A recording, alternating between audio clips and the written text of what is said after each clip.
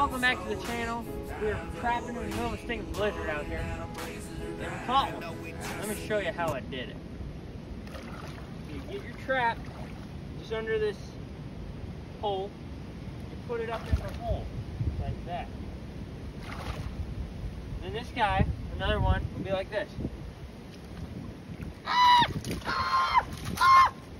Then by the time you get here, your teeth in drywall, and he's round. Thanks for watching.